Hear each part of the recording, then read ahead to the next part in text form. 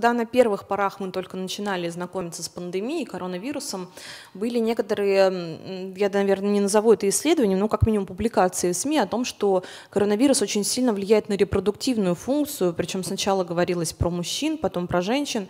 А вот это сейчас достаточно важная история, она как-то развенчана или все-таки есть опасность? Да наоборот, появляются все больше и больше Э, так сказать, свидетельство о том, что именно э, репродуктивная э, система может страдать.